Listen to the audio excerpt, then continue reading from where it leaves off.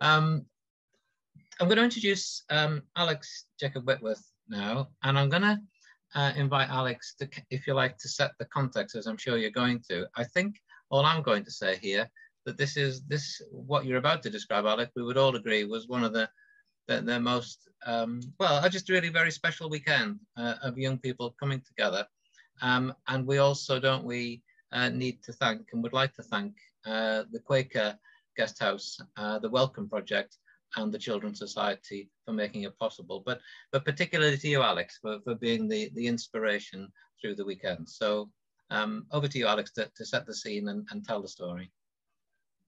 Thank you, Jeff, and thank you very much for those um, kind words. I'm hoping everybody can hear me, so I'll just um, rattle on. Um, hopefully these pictures won't take too long to load because I think they're quite important to what, what we did over the weekend.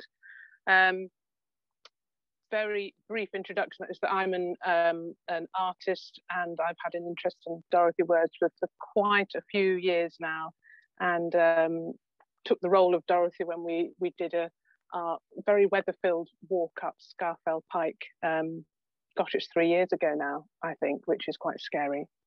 So I'll try and introduce this project. Um, and it's, it's been quite difficult to write about the, the weekend because um, I can use the words to describe it, but it's it's going to be quite difficult to get the whole picture across. Um, I think all those who were involved in the weekend found it quite transformative, um, using words such as incredible, amazing, and uplifting. Um, so early in September this year, um, we had four young people visited Grasmere in the Lake District for the first time. They'd never visited before. Um, they'd started their lives in different parts of the world and were now living in the north. And this was their first visit to the Lake District. And they were joined with some MA students from the University of Cumbria. Um, and the idea was to have a weekend where we literally walked in the footsteps of, of Dorothy Wordsworth. Um, so we all met in um, Grasmere and the young people were introduced to Dorothy Wordsworth. Some the MA students knew who she was, the four visitors didn't. So we were trying to sum up Dorothy briefly and then give them an immersive weekend so they could make the same connections is what I wanted um, as she did that same connection to place. And I wanted to make the same connection um, from person to person and to place. Um, so over the weekend, and I would say next slide here, but we're struggling to get one up as far as I can see. um, they walked where she had walked. Oh, slide two. Um, they listened to her words directly in the places that she'd actually written about. Um, they dressed in period costume and they stayed in Grasmere so they could wake to the sounds of the valley. They made new friends um, and they were helped to respond creatively to what they saw and they felt and experienced. Um, the idea was that they could make connections with her who had lived there over 200 years ago and had loved the valley and its people. And Dorothy had expressed her creative force through writing. And this weekend struck chords in ways that the young people and, and the rest of us could not possibly have imagined.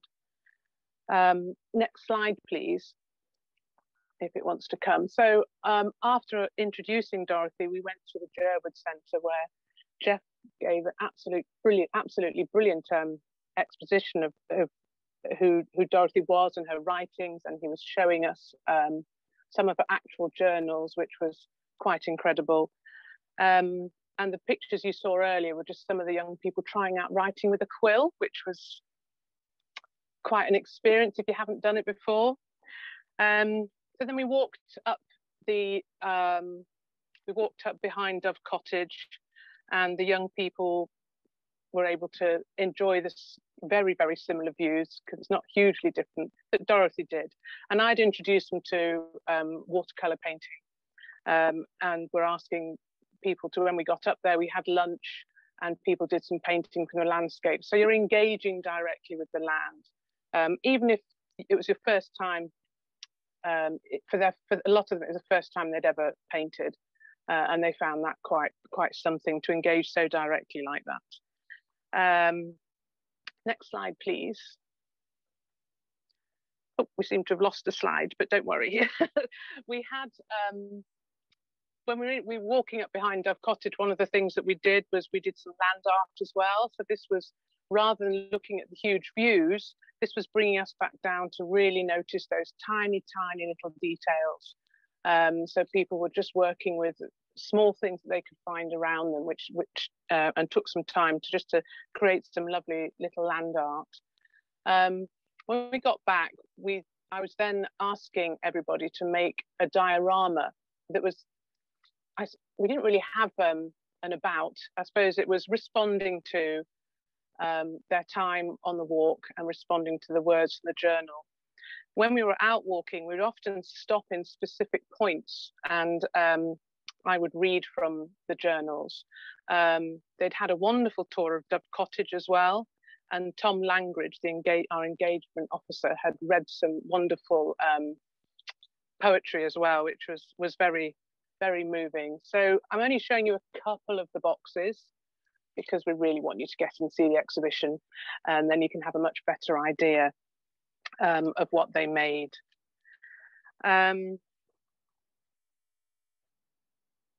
so after we'd spent quite a long time making things um, and sharing the words of Dorothy as well, the um, young people spent the evenings in the uh, guest house, Glenthorne's Quaker Guest House, and had quite a bit of reflection about the weekend. And they, they talked quite a lot about how moving they found it and how amazing was the word.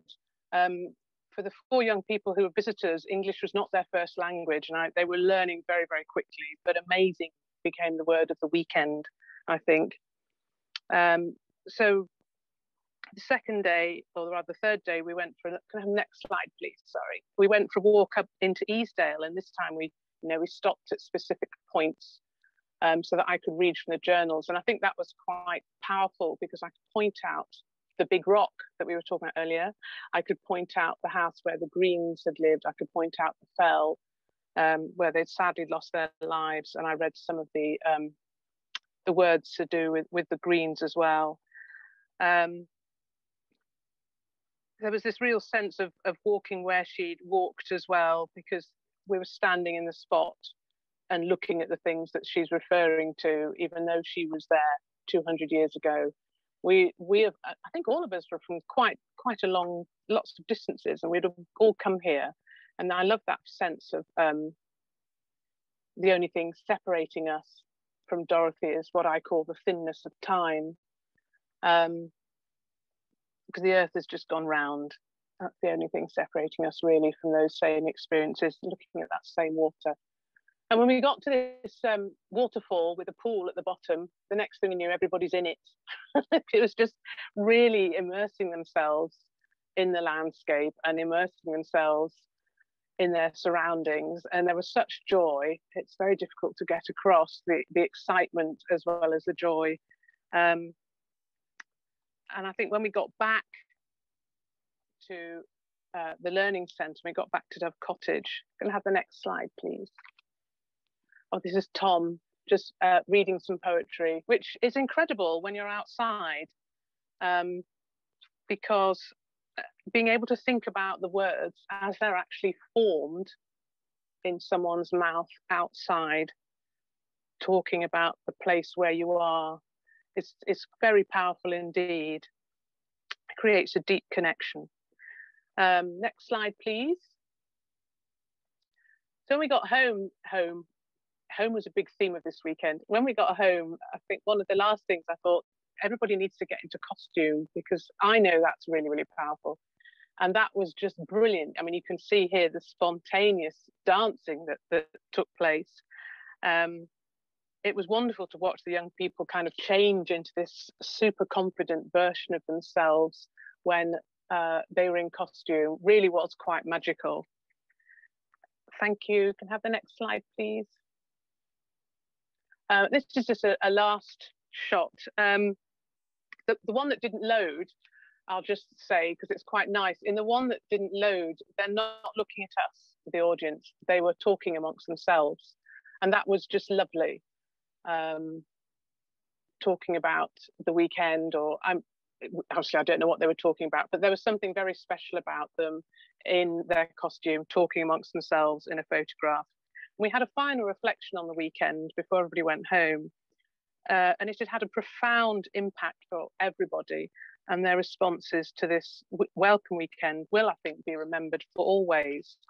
And I'm just going to read you um, a few of the quotes from them. when I, I, got in touch with them to ask about this talk and about the um, exhibition. Um, and the, the overwhelming theme that seemed to arise in the entire weekend was this sense of coming home, which was really lovely. So I'll just read some of those out to you, okay? It's a wonderful story we've made this weekend that we will have forever. In this wonderful place, it feels like home. The welcome we had, I feel like I've come home. Sometimes you have to leave a place, and sometimes you cannot go back, but it will stay always in your heart. This weekend will stay always in my heart. I feel like I have my family here. I hope to bring my family back one day and maybe my future family. It's so incredible being here, meeting all of you. And I love the way you describe the poems and I love the wet in wet painting. Grasmere has been the best weekend I've ever had. I learned a lot from all of you and I was honoured. I wish the time was longer, but beautiful things are always short, so we know how beautiful they are. I'd like to finish with that one apart from one more thing. Um, Dorothy said, when I came to Grasmere, I felt that it did me good. So I'd like to finish with, they came to Grasmere and it did them good. Thank you, Jeff. Thank you, Alex. If you just hang on just a second before turning your camera, on, it's just um, really the words that you use there, joy, home, feeling, creativity, spontaneity. Um, mm. And what was special, wasn't it, was the young people, uh, the, the, the, students as it were from the University of Cumbria, meeting the four people in yes. the picture and that wonderful synergy that, that came together. And, and I, I have an image of that weekend where two of the people were hugging each other. Uh, I think one was in tears because they'd been in the presence of Dorothy's journal. And, it, and it's yes. like it's the, it's, the, it's the journal with the place, with the words, uh, and about the people too in the landscape. So it was it was a very life changing weekend for all of us, really, wasn't it? So it was. It was. Um, I think it was all the different ingredients coming together. It's like you were using all. We were using all of our senses, and we were all connected to place, mm. and that connected us all as people. Yeah, I think it's something that we would love to do again. And uh, if anybody is, is, is, in the audience and, and feels that you know they would like to talk to us about that, um, please do. Um, please do get in touch with us and, and let's see what, what we can do. That, that uh, line about uh, beautiful things are short reminds us of something that Lee said, didn't he, about the clouds moving? Mm. The, the, the, beautiful things don't last. Um, thank you very much, Alex.